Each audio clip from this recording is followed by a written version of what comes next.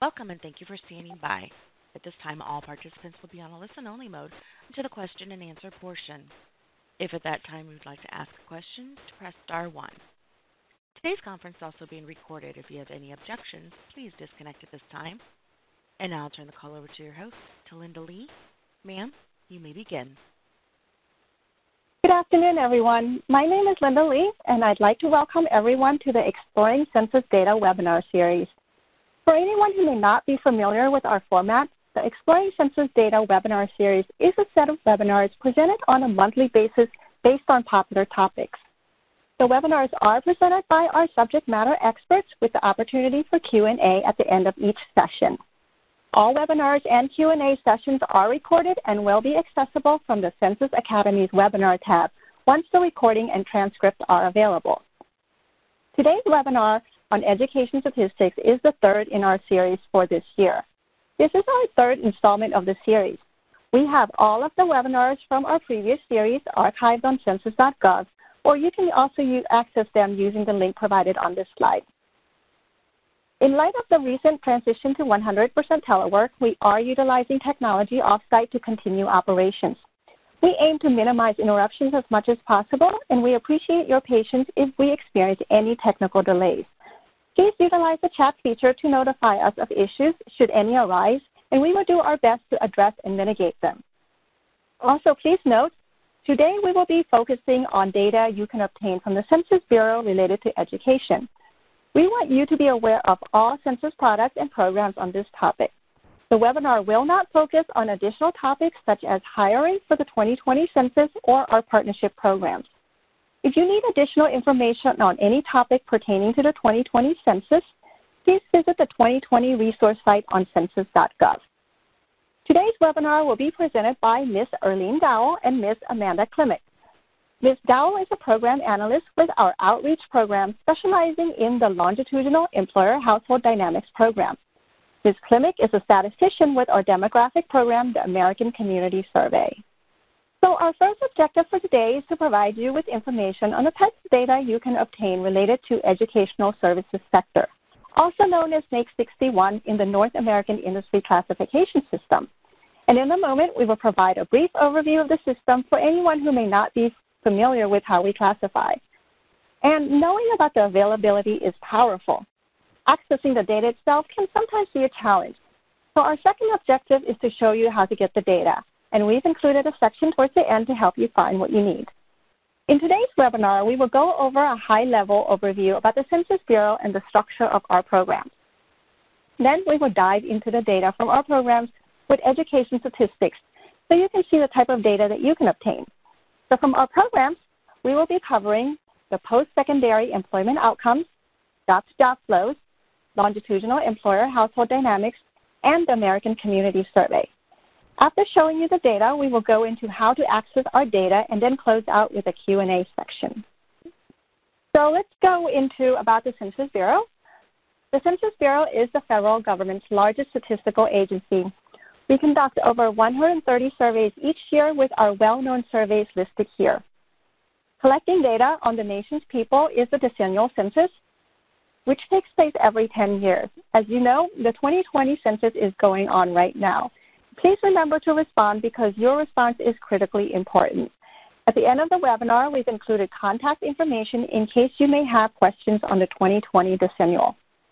Next, the American Community Survey is a program that collects demographic data annually. And in a moment, Amanda will dive into more details about this program. For business statistics, the economic census is our most comprehensive program, taking place every five years in the years ending in 2 and 7. We also have the Census of Government, which is the public counterpart of the economic census. A pyramid is a good illustration of the relationship between the time and details from our business or economic programs. We primarily conduct monthly, quarterly, and annual surveys. Now, in looking at this pyramid, it's important to know that the more current the data, the less amount of details, with more details available from programs categorized in the middle and bottom of the pyramid. With that being said, the economic census is a periodic survey that takes place every five years. It is illustrated at the bottom of the pyramid because it is the most comprehensive program when you're looking for business data. And as you move up the pyramid to our annual programs, you will find that you can use these statistics for analyzing trends. And finally, at the very top of the pyramid, from monthly and quarterly programs is where you can obtain timely data. And before I turn the presentation over to our presenters, here are some key terms and items that are helpful to know when you use our data. First is the North American Industry Classification System, also commonly referred to as the NAICS. The NAICS is a system that we use to classify every business in the United States and is the primary dimension of business employment data that you'll see today. Each physical business location is assigned its own six-digit NAICS code based on the primary business activities at that location. Each, individ each individual business data are then turned into the summary statistics that we publish by industry and geography. In the reference section, we've included slides that illustrate the system, and if you'd like more information beyond the reference material, please visit our site census.gov where you will be able to access additional materials. Next is the term establishments as opposed to company or firm. Most of our employment data is collected and published on an establishment level. Collecting the data this way allows us to provide the most accurate picture in terms of business activities. For instance, if a company has both a manufacturing and retail locations in many states, separate data is captured for each location and not the company as a whole.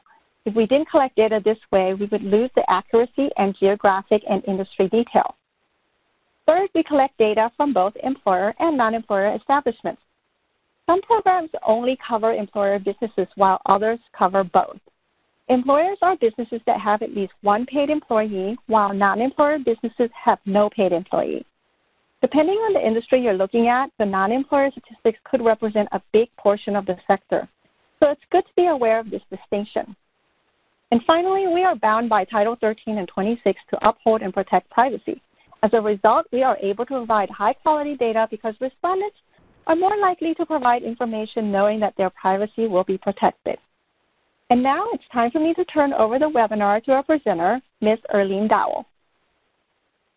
Thank you, Linda. As Linda mentioned, my name is Erlene Dowell, and I'm a program analyst for the U.S. Census Bureau, specializing in the Longitudinal Employer Household Dynamics program. I'm excited to be spending the afternoon with you and sharing information about the Census Bureau and education. When I hear the word education, I automatically think of teachers and students. In census data, we can look at teachers in the education workforce or student enrollment. Census has data on educational attainment, educational enrollment, public school system and finances, teaching about statistics in schools, and the Educational Service NAICS Code 61. Educational attainment covers the highest level of education that an individual has completed. Sources for this data come from the American Community Survey and Decennial. Educational enrollment covers enrollment in elementary, high school, colleges, or professional schools. Public school system and finances includes revenue, expenditures, and debt of elementary and secondary schools. Information on this topic comes from the annual survey of school system finances, which is our survey spotlight for this webinar. Teaching about statistics using statistics in schools supports the efforts that every child is counted in the 2020 census and how the count impacts federal funding.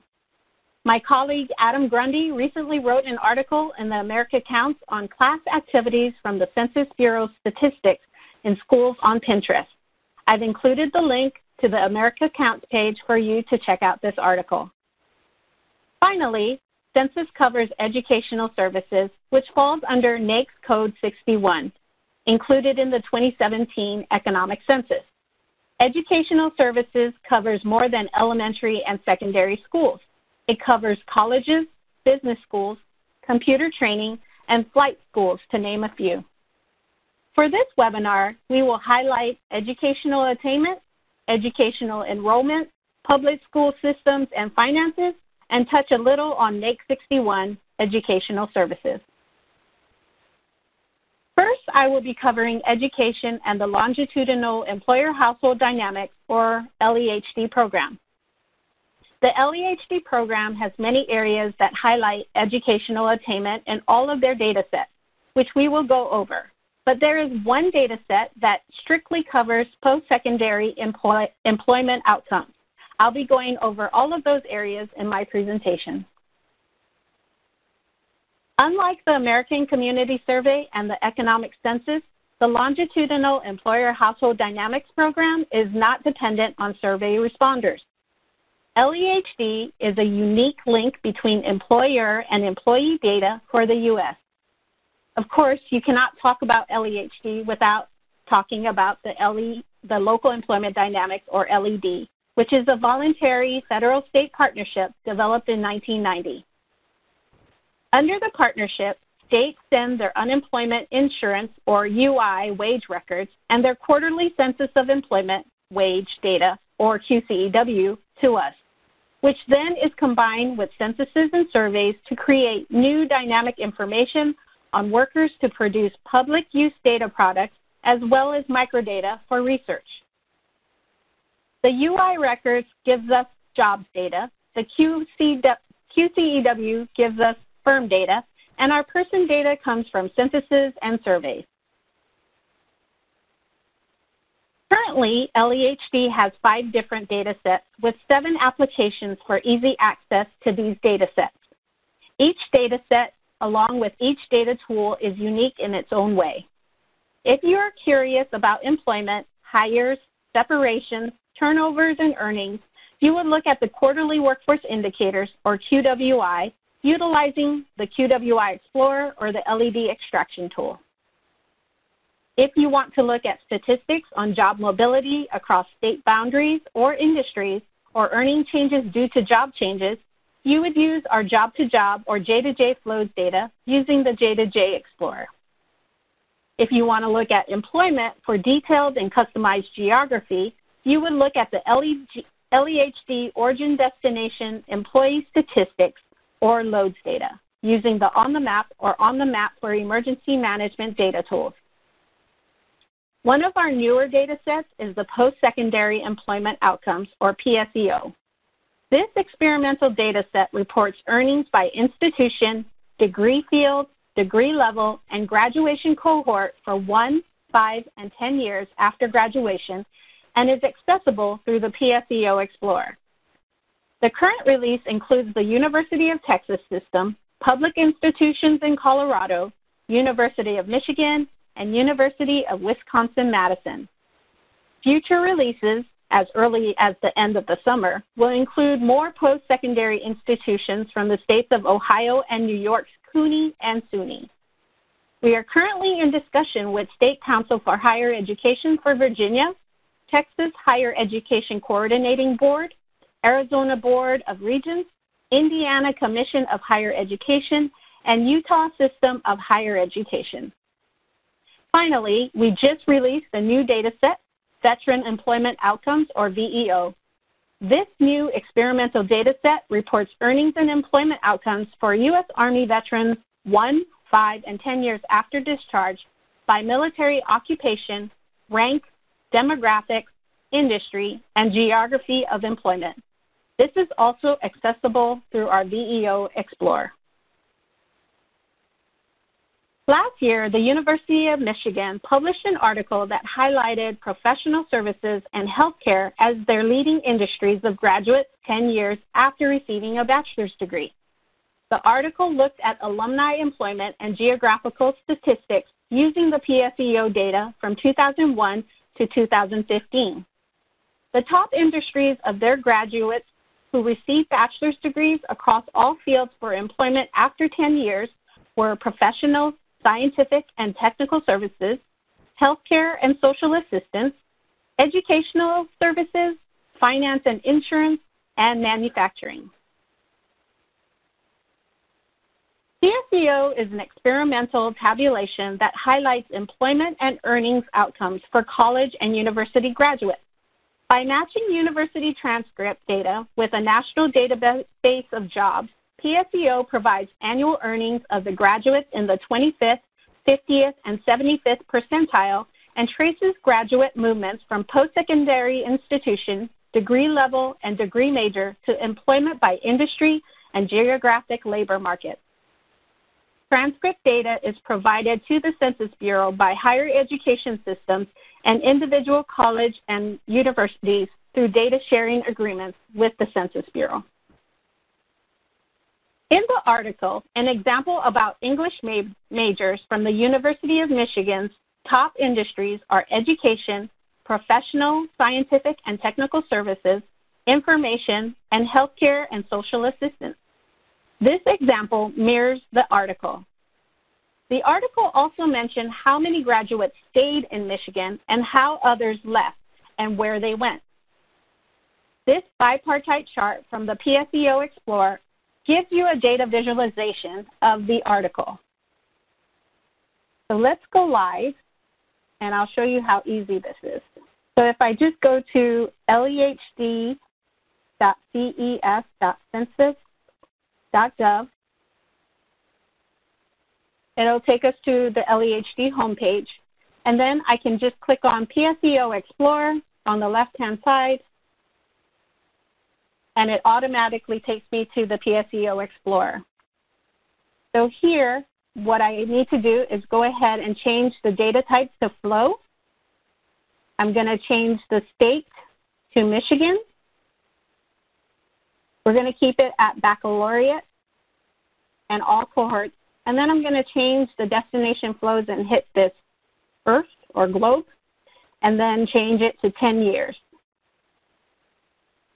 So then I will scroll down to the bottom and continue by putting in percentage. And then I will clear the selection and click on English Language and Literature. So here you can see um, that under the program, we selected English Language and uh, Literature. We can see under the industry that educational services is 26%, and professional, scientific, and technical services is 25%, and healthcare and social assistance and information are both 10%.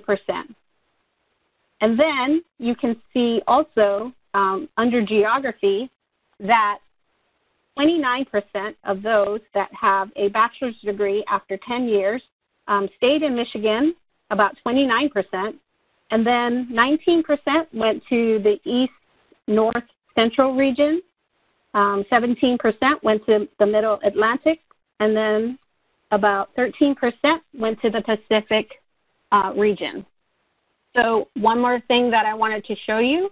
Um, if I go ahead and click on bar, the bar chart in the left-hand corner, now we can see what the outcome, the earnings outcomes are and you can see under the English language and literature that after 10 years, their earnings are 64,959. And then it also gave us rhetoric and composition writing studies where the um, after 10 years, the earnings were 65,238. And so that's for a bachelor's degree. But if we wanted to go and look at um, a doctoral degree, and I, I also click professional practice, you can see that it actually changes the program because most likely the um, this is the program that they are offering at the University of Michigan. And so it changed it to law and medicine. So now we can see those with the bachelor's, I mean, with a, math, a doctorate degree in law earns about 155,929 after 10 years, while in medicine it's about 250,302. As for the rest of the data set, educational attainment can be crossed with race, earnings, age, industry, geography, and sex, to name a few. Educational attainment can be broken down into five groups. We have no high school diploma or GED, high school diploma with no college, some college or two-year degree, bachelor's or advanced, and other, which includes workers 24 or younger who are still going through college or those who have put college on hold or those who are undecided. Here's an example of our job-to-job -job flows, piggybacking on the University of Michigan article this is a chart of those who left Michigan and what states they went to and what industries they went into. So here we can see that 24.5% went into Florida, 28.4% went into Illinois, 19.8% went to Indiana, and 27.5% went to Ohio. The industries they were went into were information, finance and insurance, professional, scientific and technical services, educational services, and healthcare and social assistance. Still looking at hires from Michigan, here's an example of educational attainment and top industries. You can see those with bachelor's degrees are predominantly in professional, scientific, and technical services, healthcare, and educational services. Finally, for J to J, we can see job flows from Michigan to the top four states and their educational level. We can see that majority of those who left Michigan had some college or a bachelor's degree or higher. Another one of our data tools is the On the Map. Here's a snapshot of where people with bachelor's degrees are or advanced on the map actually where they work. So here's a snapshot of where people with bachelor's degrees and above work in DC. When I click on the blue underlined text of bachelor's degrees or advanced, the map updates to only those workers that work in DC with a bachelor's degree and above. The total workers equals 139,448. This final LEHD example using the QWI Explorer and one that I can relate to since that's my home state uh, is in the state of Hawaii.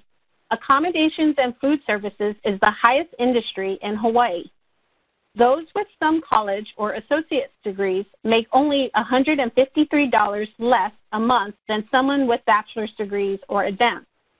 Those with some college or associate's degrees earn $3,395 a month, while those with bachelor's degree degrees and above earn $3,548 a month. So that was a quick overview of the LEHD data tools highlighting educational attainment. Please visit the LEHD homepage at lehd.ces.census.gov to check out some of these data tools. Okay, so changing gears, as Linda mentioned earlier, the economic census is conducted every five years on every employer businesses in the U.S. There are about 8 million employer businesses and data first and data first started to be released back in September of 2019.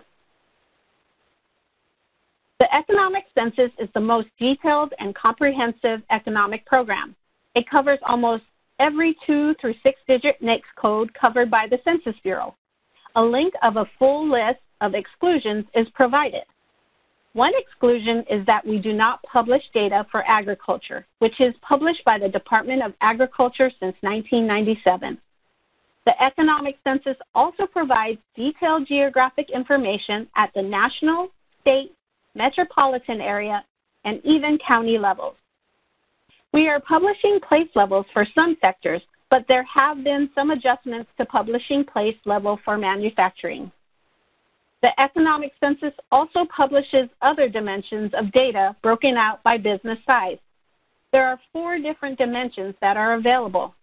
Employment size, revenue size, total number of establishment, and by company size. We also publish data by franchise or non-franchise owners. What makes the economic census so detailed is that it includes over 200 data variables such as number of establishments, employment totals, or payroll. Also, one unique aspect of data published by the economic census is revenue broken down below the national level. Here's a sample of the 2017 Economic Census Geography Release for Educational Services, NAICS 61 at six-digit code of all establishments for the state of Colorado we can see number of firms and establishments, sales and revenues, and number of employees for both the professional and marketing training and fine arts school sectors. Just a reminder, these are only two of many educational services covered. Census developed this great infographic as a resource that shows you the states that have been released. Each state is represented by a hexagon, and when the data is released, the inside of the hexagon is shaded peach. Go to the link below to check out this graphic. Census has many new things going on for the 2017 economic census, starting with the geographic areas. Every other Tuesday, Census conducts a GAS release webinar on geographical area statistics. Be sure to tune in on June 9th at 2 p.m. Eastern Standard Time when we present geographical area releases for Iowa, Nebraska, and South Dakota. In those webinars, we also go over some of the NAICS changes, which include mining, manufacturing, retail trade, information, real estate and rental and leasing, and professional scientific and technical services. As part of the 2017 economic census, the new North American Product Classification System, or NAPCS, will take the place of the product line.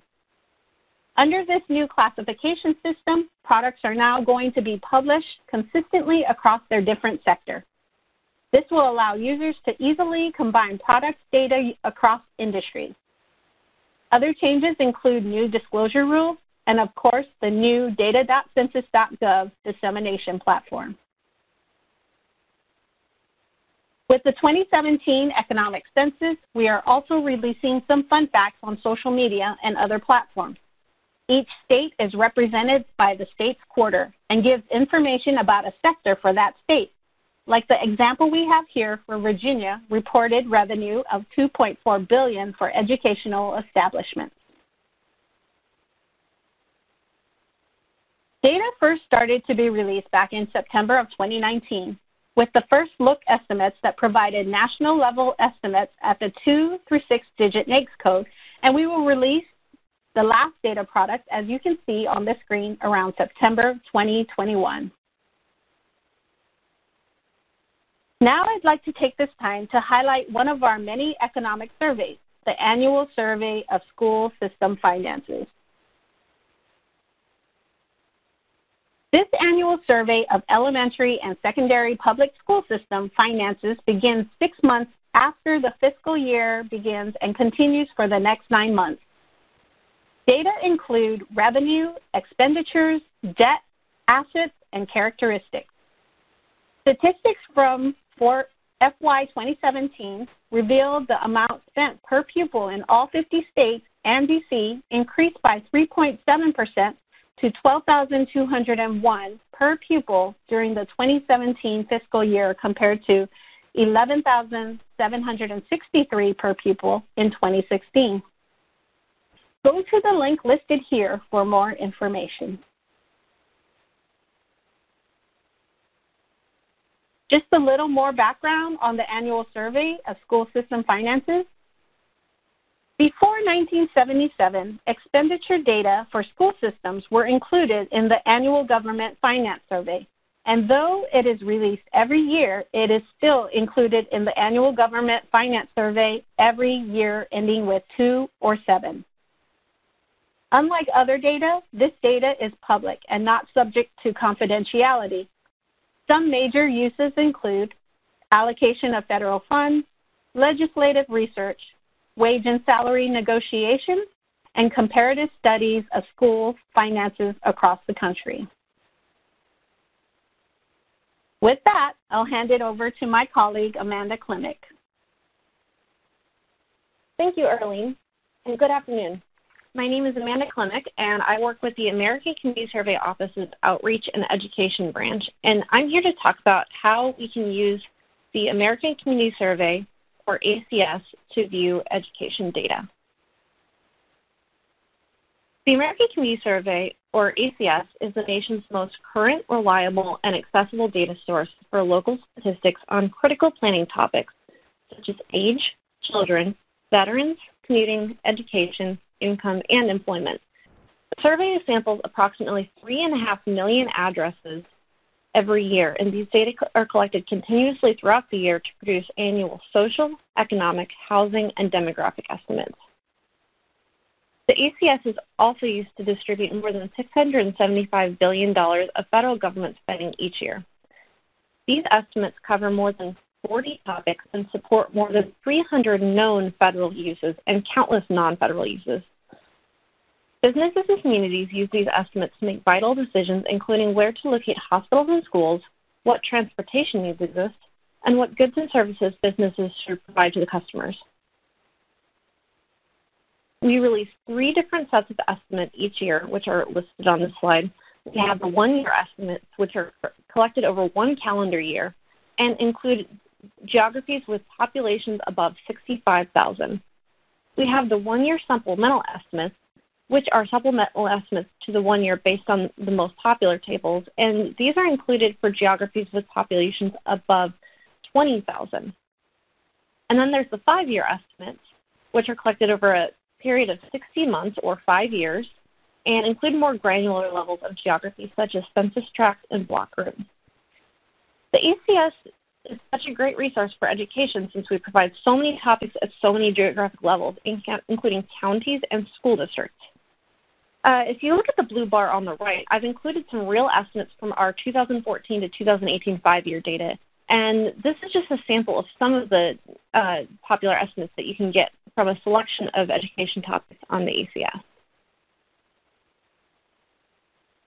The content collected by the ACS can be grouped into these four main types of characteristics that you see on the screen, social, economic, housing, and demographic. And you can see some of the social characteristics listed on the left, including popular topics such as disability and educational attainment. And the ACS also collects basic demographic estimate, uh, characteristics such as age, Hispanic origin, race, relationship, and sex. And you might recognize that this is the same information collected on the decennial census that happens every 10 years. And if you go over, if you, if you go right under that, you will go to economic characteristics, which shows income, employment status, and some of the others you see here. And housing characteristics listed on the right includes both the physical and financial characteristics of housing, such as the year built and home value. Each question on the ACS is required for federal and state government programs. We provide a resource on the ACS website called the Why We Ask page, which gives the public information on the required use cases for these questions as well as how they appear on the questionnaire. And sometimes this information will, is useful in determining the types of data that you can find, and we'll actually explore this page briefly when we go over a demonstration of how to find this data. So out of all these topics, I've highlighted just a few that would be relevant for education right off the bat, such as educational attainment, school enrollment, in industry and occupation. But this is by no means an exhaustive list of the types of data that you can get that's relevant to education. And also, the data can be much more useful when you mix these topics with other topics in the ACS, such as educational, educational attainment and age or, or industry and occupation and race. And I'll show you uh, some of the various ways we have of creating all these different layers of data. Here you can see the different levels of geography that we offer. The ACS provides data for more geographies on an annual basis than any other household survey. And the great thing about this slide is that we can see how the different levels of geography interact with one another. This is helpful if you'd like to combine these geographies to approximate uh, some sort of area in your community that you're interested in, such as a neighborhood or uh, some sort of other uh, dis- municipal districts or region. Lower geographic areas fit neatly within the larger areas connected with lines. For example, congressional districts, school districts, and places, which you will know as cities, towns, and other municipalities, fit neatly within states and don't cross state boundaries. But these may cross boundaries of other counties or metropolitan areas since they're not directly connected to counties. And I want to give you a quick little primer on census tracts and block groups. Some of you might be familiar with these, but some of you might be new to the concept. So census tracts are small statistical subdivisions within a county with populations of 1,200 to 8,000 people. Think small towns, rural areas, and neighborhoods. And block groups are groups of blocks within a census tract with around 600 to 3,000 people, as you see blown out in the right corner of the screen. And we really like to encourage people to use these types of geographies as building blocks for any custom use that they might need. So here we have an example of one of our data profiles, which gives us a demographic breakdown of the population within Ann Arbor Public Schools, in keeping with the, the Michigan theme today. This table is one of our published products and can be found on data.census.gov. And I will give an example of how to find this in just a moment. We cater to a variety of data users with unique needs, so we have a variety of data access tools. This is a list of just a few of these tools, and a couple of these, such as on the map, uh, Erlene mentioned earlier. These can all be found by navigating to census.gov and then going to Explore Data, and then Data Tools and Apps. The Census Bureau's primary dissemination platform is data.census.gov. So we're going to briefly go through a demo of this platform right now to find some of the, the data that I've mentioned to you today. So here we see the front page of data.census.gov, and this is where we can start to explore our data as it likes to show us in the top here. So we are going to start with the advanced search. This is one of my preferred ways of looking at data. So we're going to start here because you can search by different topics, geographies, years, surveys, and if you're familiar with different types of codes, such as industry codes, can search by that. But right now, we're just going to fo focus on topics. Just assuming, you know, we're going into this tool with fresh eyes, and we just want to see what they have on education. And so if we go into education, we can see a couple of various education-related topics. We can see educational attainment. If you see school, uh, click on school enrollment, you can see a couple things related to that. But if I just click on the broad category of education, it will bring up all of these options. And so I will go ahead and click on education and see what that brings up. And this brings up a couple of interesting tables right off the bat here. So we have a couple of subject tables here, which are tables that provide counts and percentages for, for estimates for some of the most popular topics and provide a cross-section, a cross-tabulation of several really useful topics for these. So we'll start with this educational attainment table, and this is uh, where I actually got the educational attainment estimates that I listed on the various was 25 years with a that was a private rider. had one year change can something maybe here. Scroll down a little bit.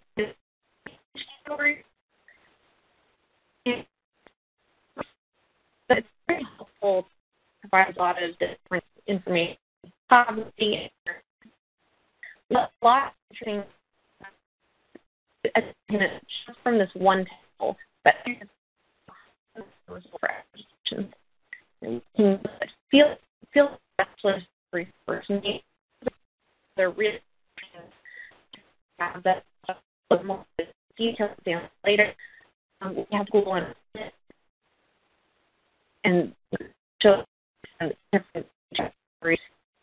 Um, you know, you can through in the most and, and once you've found that, you can click on customize table, add different geographies um, I'll show you how to do that here in a moment with data profiles. You can add these um, and you can build here. Show you how to find the data profile that I showed in the for the school district. Want a, demo, a basic demographic socioeconomic breakdown of geography in case we're going to do a school district. So surveys. And we're going to CS one-year estimates data profiles, and that's how we're going to find the data profiles here. And we can add in a geography before we go to the customized table filter. Um, it's really up to whether you want to do it now or once you get to the table. And go in, and we're going to go into Unified School District. we're going to stick with Michigan. That's been working for us so far. I'm going to select school. Unfortunately, it's there Search. And here we have some really neat data for animals. So you can, this is how you can get some interesting uh, demographics of economic about the school district. Um, we have a demographic breakdown on our first table. It's just basically, yeah, the basic graphic breakdown, age, race, uh, citizen voting age. Um, we have a of characteristics, which will give you, you know, um, educational attainment, relationship, marital status, um, children living um, we have um, in the um, industry, and we have housing characteristics, which I mentioned earlier, describes both the physical condition of the housing stock, um, you know, the number of units in structure, the year the structure was built, and there's also some financial characteristics of the housing in the area, such as the home values and uh, gross rent and um, information like that. And there is just one more um, area I want to show you. And this is where I got the, the that quick little estimate about the number of um, the, the estimate of preschool and kindergarten teachers. And I got that here. I just there, we have so many we have so many occupation tables. If you, you can go into the advanced search and you know do topics and industry and occupation like I did earlier, but you can also just search on the front page. I'm going to type in. I like this detailed occupation table. Um, it's B24114, and this just this is a nation uh, a nation level table, but it gives you such a great breakdown um, of all of these different occupations, and this is where I can find the breakdown of different education. Let's see, it's a little farther down. Here, see, I got this preschool and kindergarten teachers here, post-secondary teachers, elementary and middle school teachers. And again, you can get this information um, you can get occupation information below the um, the nation level. Um, this is this particular table is at the nation level, but if you go into that industry and occupation filter, um, that will give you tables that you can find at the other levels of geography that I mentioned. Um, and I want to go quickly to the why we ask uh, why we ask page. So as I said earlier, this page mentions um, gives information on you know what uses, uh, what statutory or otherwise uses these topics have for the questions that we ask on the ACS and the data that's presented using these topics. And I want to go back down to the let's see, industry, occupation, class of worker. Um, something that makes us different from um, the the household surveys, different from the economic surveys, kind of like Erlene mentioned earlier. She was showing a graphic on where um, you know, where people with bachelor's degrees work in DC. Um, these these household surveys, such as the ACS, are based on where people live. So um, you're going to get you're, you're going to get this information um, of like occupation and you know educational attainment, everything based on where people live. And um, something interesting that happens in the education field is the way this question is asked on the ACS um, is if this person had more than one job, describe the one at which the, uh, the most hours were worked. So we will only take we, we will only um, show, you know, the the primary job someone had, which is based on the number of hours worked. So that is also an interesting consideration um, when you consider, you know, the education sector. We're going to go back to our PowerPoint here, and I showed you some of the, um, you know, some of the really useful pre-tabulated data that we have, and we have quite a lot, and we have you know quite a few different variations of how the data is presented. You know, we have cross tabulations of income and race and educational attainment. Um, all a lot of these categories are already you know pre-tabulated for you in various combinations. But it's possible that there's you know, there's something that you're looking for that you can't find in our pre-tabulated data, and um, we also produce a product called the Public Use Microdata Sample, or PUMS, which is a powerful microdata set that allows you to create your own custom tabulations in case you can't find what you need in those pre-published tables that I presented a moment ago. And this is a brief example of what makes it different from the summary data, data that you might see in data.census.gov or other sources. In these summary tables, such as the one much like individual records are categorized and weighted to create a larger population. For this example, at the census have taken living in Michigan who indicated that they were a male between the ages of 25 to 34 who had graduated high school or beyond, and they grouped them together and weighted them to create an estimate of all the males in Michigan who fit this educational attainment category. And these statisticians have also calculated and provided the margin of error for this estimate, which you can see on the right. By contrast, the microdata shown below provides a sample of those records that the statisticians used. And here you can see that one person who responded to the ACS in Michigan is a 34-year-old male who is a high school graduate. In order to create an estimate, the data user must take this raw data and follow the same steps that the statisticians did in the example above. However, we have some tools that do make it quite a bit easier than, you know, being a trying trying to create a, you know, a professional table. We have some tools that will create this table for you. If you're interested in an example of how PUMS can be used in action, you can visit an interactive data visualization that we released last year on young adults in higher education. And I'm going to go actually navigate over to this right now. So we use the PUMS rather than our internal microdata to showcase the sophistication of what can be done using the PUMS. And we created a really interesting story on what degrees young adults are getting and what those degrees are doing for them in terms of occupation and earnings. And this is not an analysis that could have been conducted using only our existing tables. And so, you know, we have the story of, of um, you know, how many young adults have a bachelor's degree? What are the most common degrees for men and women? Hover over it, um, learn a little more. And what occupations do young adults get with their degrees? Um, just to remind you, again, this is based on where people live. Um, so, um, and do young adults get what they paid for? So it's a you know the breakdown of um, median earnings um, and um, you know bachelor's versus high school and graduate versus uh, the bachelor's degree. And so I just really wanted to emphasize this is this is publicly available data that we use. This is not our you know internal microdata that we use ourselves. So this is something that you know a data user um, external of the Census Bureau could could produce.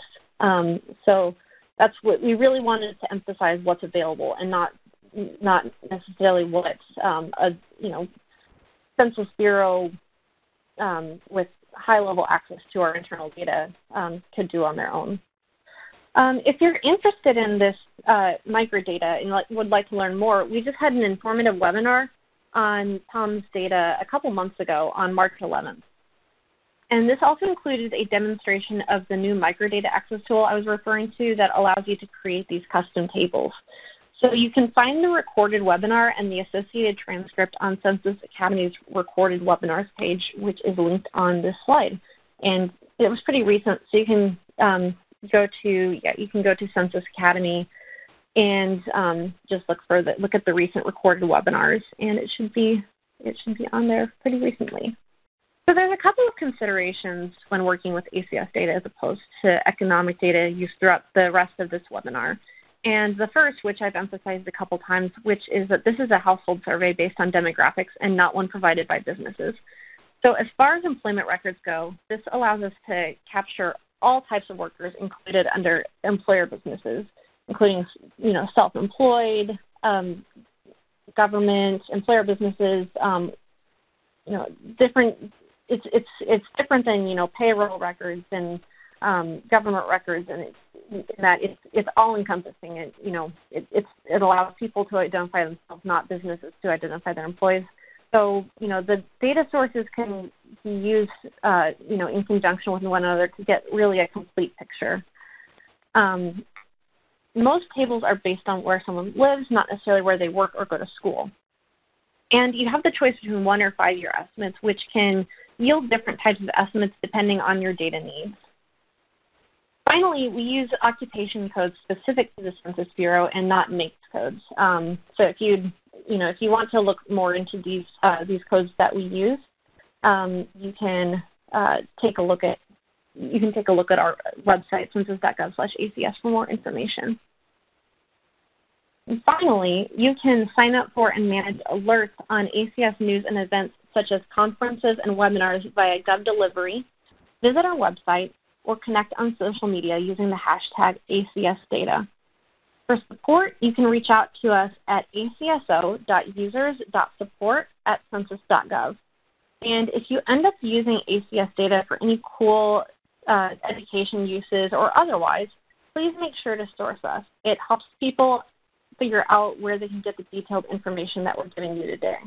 Um, you can also go on our website, census.gov/acs, and you can, um, you know, if you do end up doing something cool with our data, you can share your story with us, and we can help share your story with others and you know share how you used our data. So, all right, with um, with that in mind, I am going to um, I'm going to give the presentation back to Arlene sorry, back to Linda. Thank you, Erlene and Amanda, for presenting our audience with information on education statistics available from the Census Bureau and how to access the data. Thank you, everyone, for your interest in our data and for attending today's webinar. Before we begin our Q&A, if you have questions regarding the 2020 decennial census, please use the contact information provided here. We also listed information on our data dissemination specialists this is for anyone who may be interested in a hands-on in-person training. We have specialists assigned by geography that will be able to provide you with this service. And as a reminder, we're focusing our Q&A on today's topic, and we will be accepting questions regarding education data. If you have questions on other topics, please feel free to send an email to us at census.askdata at census.gov. And now we'd like to open the lines up for Q&A portion of this session. Operator, at this time, do we have questions in the queue? Not at this time, but as a reminder to ask a question, please press star one and record your name. And while we're waiting for questions to come in, Amanda, I wanted to let you know, thank you for including the PUMS in your presentation. We did receive a question regarding how to access raw data, so that was very helpful. We did have so another question regarding to that, and it, it was related. It says, um, does the API support a variety of programming languages, languages for accessing the data? Would you be able to assist with that? Yeah, sure. Um, so I'm, I'm still sharing my screen, so I can go ahead and um, if you go to census.gov slash ACS and you go to data, and go to data, um, we have two main ways of disseminating PUMS data. We have um, the raw records that I showed you in the presentation, which are going to be on the left here, available on the FTP site. And this is where you, you select your year and then you select your data set, and then you will download that kind of raw data file. It'll be either in, you can, you can choose to download it as a CSV or a Unix file, which you can load into a SAS um, or you know something like that. Um, and that will be the raw data file. If you would prefer to, you know, try your hand at our um, our microdata access tool um, on data.census.gov, you can click here, or you can, um, you know, go to data.census.gov and then scroll down to microdata, um, and that will take you to that will take you to where you need to go. And again, we did we did a demo on this um, on this tool on, in the PUMS webinar, um, which was a couple couple months ago on March 11th, and that is posted on Census Academy if you would like to see that demo. Thanks, Amanda. Let's check in with our operator. Operator, do we have questions at this time? Yes, we do. The first question comes from Ben. Your line is open. Hi, thank you for that presentation. Um, I was wondering, uh, if there was any um, overlap or how the data that Census has on educational uh, attainment um, might overlap with uh, data from the National Center for Educational uh, Statistics. And another question was, um, this would probably be in the longitudinal study, if there's any data that, that maybe tracks um, how associate degree um, particip- or people that attain an associate degree, um, whether they might go on and then go on for like a bachelor's degree or other higher education, if there's any data that would, would point to that. Thank you. So this is Erlene. Um, that's a great question regarding the tracking of associate's degrees and going on to um, a bachelor's degree. All of our data usually comes from um, from employment data. So I'm I'm not sure about that, but if you Ben, if you send me an email, um, I can ask around the um, the researchers to see if they know where that comes from. Okay, great. And, and sorry, this, this is this is Amanda. On the household side, we do have a um, we do have subject matter experts. Uh, we have an entire um, branch for um, education. It's called the Education and Social Stratification Branch. So um, you can feel free to reach out to us. I this this is this uh, this has my my email rather than our support email on it. But if you want to reach out to our support email, it's ACSO for ACS, um, American Community Survey Office. So ACSO dot users with an S at the end dot users dot support at census.gov and we can put you in touch with subject matter experts because it's possible somebody did like a you know a report on that or something. Okay, great. Thank thank you guys uh, so much. And um, I guess if, if you had any idea on that general question that I asked about the National Center for Education Statistics, and if there's like if they use you guys as an input maybe, or or uh, or whether that's just separate data that maybe has some overlap in terms of what it shows. Um, that'd be a, qu- a, question we could put you in touch with the subject matter experts on as well. Um, Great. I, I, know that I know that our subject matter experts work with other agencies, either for you know we we might we do reimbursable survey work for them, or you know we work with them to get our coding lists. Um, but we can we can look into that for you. Awesome. Thank you guys so much. It was a great uh, great presentation. Thank you. Thank you.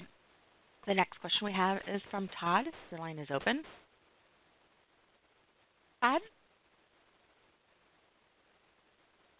Okay. Um, we'll go to the next question. Next question comes from Tom. Your line is open. I think that might have been me. Um, my question is, to what extent, the particularly the employment data, overlaps or complements Labor Department statistics that they compile? Is that something you work with them on, or is it something you do independently? Just a curiosity. Thank you. So, Tom, um, we do work with the labor um, market statistics, but um, I feel that they get majority of their data from us uh, instead um, because we're we partner with them. So the data comes from the states, and then we um, create this data product, and then we share it with other other um, areas. Okay, excellent. Thank you. So, Tom, this is Andy Haight. I'm an economist at the Census Bureau. Just to add one uh, small thing to what Erlene just uh, just said, um, one major difference between the business employment data that we have at the Census Bureau and the business employment data that the Bureau of Labor Statistics produces is that we have a special program that Linda mentioned early at the, at the beginning of the webinar uh, called Non-Employer Statistics that covers self-employed people. Um, and the Bureau of Labor Statistics, um, with very few exceptions, does not cover um, self-employed people. Um, there's over 24 million um, non-employer businesses in the United States, as opposed to about 8 million employer businesses. BLS covers the 8 million or so uh, employer businesses. Census covers both. So that's that is one difference that I usually refer people to uh, when they're trying to understand, you know, which which data sets should they should they um, should they use. If they want to make sure they're counting folks who are in their communities that are self-employed truck drivers or a wide variety of other professions, um, including um, folks, by the way, that work in the educational services sector, um, they should use the non-employer data. So that's just one addition I, I would make. Well, thank you. That that's a great clarification. Having been self-employed myself for a couple of decades now, it's interesting to know. I've always wondered if the labor statistics included me or people like me, and that helps. Thank you. You're welcome. Thank you. The next question comes from Roy. Your line is open. Good afternoon. Um, quite a good uh, webinar. I had a quick question. Uh, in the demographic um, um, that was mentioned, it depends, they're going to count where you live. Now, what is the time frame? Where you live or where you lived or what is it like? And the cutoff date or something? because you're going to create a data on that, right? So it mentioned on that one line, which I remember still, it will depend where you live. Could you please elaborate on that? Right. Yeah. So so on the this is Amanda with the ACS. So um, on the ACS the the ACS specifically, which is what I presented on, it's uh, it's it's a household survey. Um, so like the uh, the educational attainment and occupation data I presented is um, based on is based on where you live. There are now there are some there is there is some commuting um, information in the ACS where you know we do ask you know how far do you live like like where we ask where you know where you work so we can calculate commuting data. Um, but again, that's the the ACS data is is based on where people live, whereas some of the um, data that uh, that Earlene was presenting earlier um, on like programs such as you know uh, the PSEO data and stuff like that. That's based on where people work. So it it it really just you know depends on um, what you're looking for. So does that answer your question? Right. Uh, yeah, it was partly, but the question is that you said that uh, it depends on where you live. As of what? As of particular date or particular month or as of a survey date? Like what would depend like? That's the question. What would depend and it, it well the I guess it doesn't depend on it's it, the data represents people where they live. You know, so uh, you know I showed I showed you the data for Ann Arbor Public School District. Um, the data that I showed you, the demographic data, will be will, will represent people that live in the Ann Arbor Public School District, not necessarily people who work in the Ann Arbor Public School District but live, you know, in another school district. So basically that that's just saying the data represents people who live in that geographic area, not necessarily people who work there but live elsewhere. Oh, okay. Okay, now I got it. Thank you very much. I appreciate your uh, answer. Thank you. The next question is from Rosie. Your line is open. Hi. Thank you again for the presentation. Um, I have two questions. One may have already been sort of answered, but I was wondering if there's any connection to the post-secondary, the PSEO study, and the college scorecard data that's published by the Department of Education. So yes, there is. Um, that's all wrapped up into the PSEO. There is a webinar that we gave on March 18th and um, let me give you the title of that. It's called Using National Jobs Data to Measure Graduate Impact. It's on our Census Academy um, website and it's under webinars. So um, our researcher, Andrew Foote, gave a very explicit uh, or a very detailed um, webinar regarding the PSEO, and he does um, talk about the scorecard. So okay, thank you so much. And then just one other question about the PSEO and um, specifically, what years is the data pulled from? Is it like one specific year? Is it an accumulation of 10, 15 years? Um, I've used the visualizer, but haven't really been able to figure that out. I, the, the data comes from 2001 to 2015. Okay. So um, if you want to send me an email of all your um, questions, feel free to send me, you know, send me your questions. Um, but it is from 2001 to 2015. Okay, thank you very much. Sure. And again, if you would like to ask a question, please press star one. So there was a few questions that came in on the chat regarding uh, PSEO and also um, private sectors. So I wanted to just um, let people know that currently we do not have any private institutions in the um, data, um, mostly because we are trying to get um, more or try to expand the, by working with other states with higher education authorities. Um, so that generally has, um, they don't usually have private data. So it's costly for us to negotiate um, with private sectors because of the MOUs or, you know, the memorandums of uh, um, understanding. So um, that's the reason we don't have private institutions. And then there was also a question regarding citations. Um, we have certificates, and it just depends on what the um, universities send to us, whether we, they have citations or not. So um, to just answer that question that came in on the chat. Thank you. The next question comes from Ted. Your line is open. Wonder if this is me. Maybe not. It is, sir. Go ahead. Ah, okay.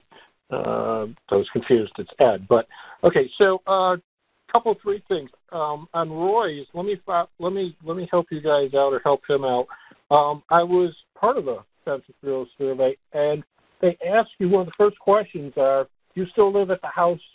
And they give you the house number. Um, that's how they figure out your date of residence. So if you live at the house, you can continue in the survey. If you don't, if you've moved, if you no longer live in the house that they selected, then you are done with participation in that survey. So um, that's how that works. Um, so two questions. I was actually looking for the article. It was my question on the on the citation.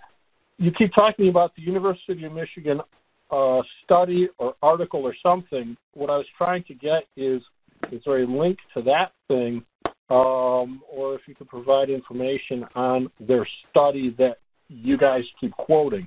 The other thing sure. is um, I work for a higher education department, uh, a state higher education department, so I'd be interested in finding out how we can become involved in the post-secondary employment outcomes uh, project. Who do I talk to? Absolutely.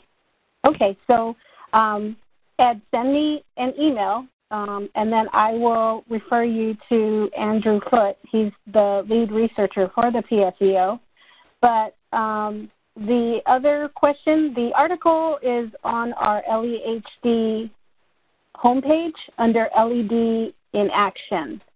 And so, um, Amanda, you want to toss me the ball?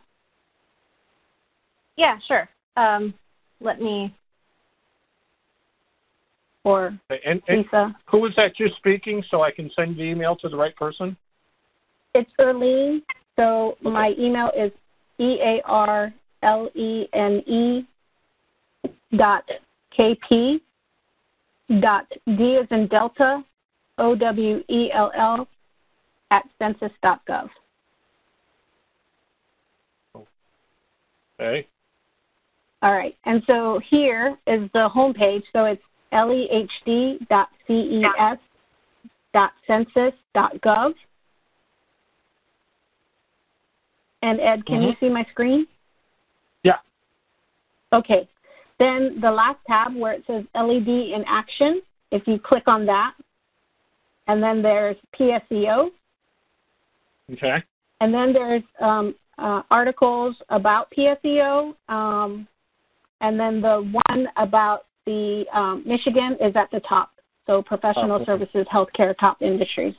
Um, also, Okay. when you're if you're on the PSEO, if you um, send any questions to the feedback um, where it says email us about uh, wanting to be a part of our, or, you know, one of our partners, you can just click on that and send an email and go straight to them.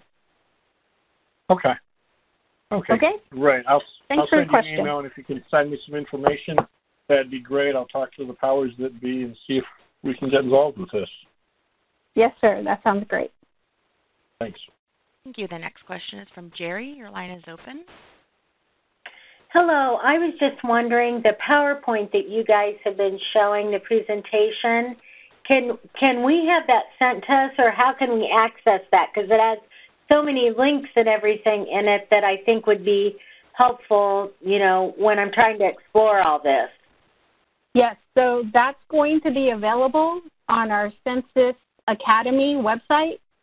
And is that the www.census.gov/acs? Wait, no. No, it's it's www.census.gov forward slash data forward slash academy Okay. forward slash webinars. Okay. I, it's it's actually in the chat box. Is it okay? All right.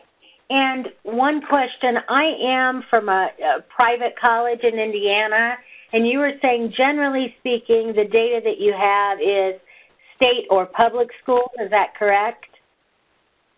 Yes, ma'am. Okay. But we still, it still is very informational. So That's great. Thank you. And Indiana is coming out. Um, we are making um, some uh, arrangements with them. So parts of Indiana is coming out. good, good.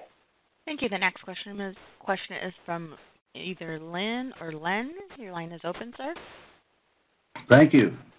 Uh, my question has to do with the QCEW BLS uh, data and how it uh, correlates with the census data. So, in the QCEW, particularly on the county level data, but also national and state, they have the super sectors, and the super sector combines education and healthcare. Uh, it also has ownership breakdown and but it also has the NAICS category 61 et cetera so when when i'm looking at super sector data on qcew uh, do i need to include the ownership uh, characteristics in order to map that into the census data uh, if that's a clear question it's a little bit obscure but Andy, can you answer that question? Sure. So, um, so this is Andy Hait. Um, the the as you mentioned, the Bureau of Labor Statistics through the quarterly Census of Employment and Wages publishes data by industry um, and by ownership uh, characteristics. So whether that business is a corporation, a partnership, proprietorship, etc. Um, Census similarly uh, does publish data by industry and by what we call legal form of organization (LFO). Um, so there is a mapping between those two. Uh, most of the time, when I talk to users um, about the comparisons between the BLS data um, and the Census Bureau's business employment data, um, and for that matter, our other data, number of establishments, payrolls, et cetera, the other data that are similar to what is published by BLS. Um, the, the two points of comparison that I typically bring up are number one, uh, the comparison that I already mentioned earlier, which is that BLS does not count non employers, uh, self employed people, where we do. Um, they are not non-employers are not counted in the economic census. The economic census is is a um, employer business um, program, but we do have data on them too. Um, the second uh, difference and, the differentiation between BLS, QCEW, and census has to do with how the NAICS code is assigned at BLS versus how it's assigned at the Census Bureau. Um, because we collect data not only on number of employees and payroll, but also on revenue and expenditures and inventories and assets and a variety of other statistics, we are able to classify a business into a NAICS code based upon what they report to us rather than having the business choose their own NAICS code for them, for themselves. Um, and in some sectors of the U.S. economy, that difference between self-classification versus the, the, Census Bureau doing the classification, in some sectors, that difference is, is in, insignificant. It almost makes no difference. If you are a grocery store, you pretty much know what you are. Um, businesses don't think that all of a sudden I'm a gas station when they really are a grocery store. But in other very, very diversified industries and diversified businesses where at a single physical location a business could be doing multiple things, how that business is then classified then sometimes does vary. Um, so, for example, if you're looking at data for restaurants and data for bars in the BLS data versus the Census Bureau's data, you will often find uh, differences between our restaurant and bar data and their restaurant and bar data because often you have restaurants that have a bar in the restaurant and if the restaurant normally does the majority of the sales, that business gets classified as a restaurant. But if that restaurant happens to have a really good bar year and their food sales are lower than their bar sales, we would actually reclassify that business as a bar where BLS and the business itself probably would consider themselves, still consider themselves a restaurant because they think of themselves as a restaurant. Yeah, they had a great bar year, but they still are a restaurant. Um, it's, it's very helpful. The grill part. So, so, so with with regard to education, then, if I want to look at the education employment through BLS's view, I if I look at public education, do those numbers come under? Um, uh, is education listed separately under under uh, government education as far as uh, local local and state education? And the numbers we saw today, would that have included both private as well as public education employment numbers? Right.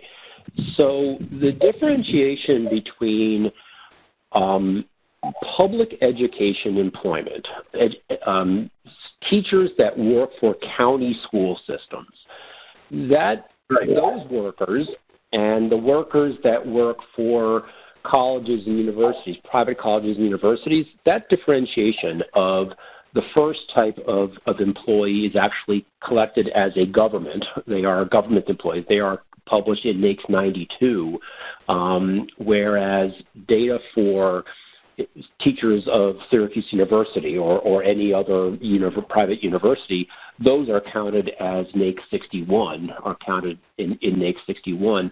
That differentiation, uh, differentiation is the same between BLS and census. Um, BLS does not count those, te- those teachers any differently than we do. What they what they would though count is, as Earlene mentioned, in the economic census, we exclude colleges and universities from the economic census data because the National Center for Education Statistics has data. They do their own survey on colleges and universities. BLS does actually include everything. So when you look at the NAICS 61 data for BLS, and you compare that to the NAICS 61 data from the economic census, you will notice a pretty substantial difference, and the majority of that difference is because we don't count private uh, colleges and university employees the way that they do, because they're they're they're they are one of those industries that are excluded from the economic census. Very good. So so the data we saw in Michigan today, uh, Ann Arbor, that uh, presumably was all the public. That that was not private uh, education numbers. Very good. That's very helpful. Thank you. You're welcome. This is Linda. At this time, we are reaching our allotted time, and with respect for your time, we are going to accept one more question. Okay. The next question is from Michael. The line is open. Uh, good afternoon, everybody. And uh, I think thanks. It was a great webinar. I just have really one question and that is the uh, veteran employment. I mentioned about it uh, being a new uh, uh, site on your website. I wonder what data it is providing as far as employment for veterans.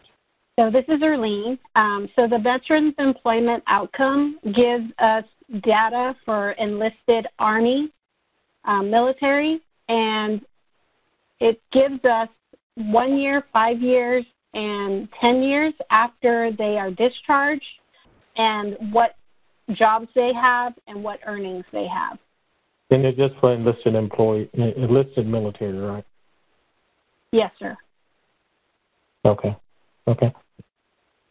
So that's all I need. Thank you. Thank you.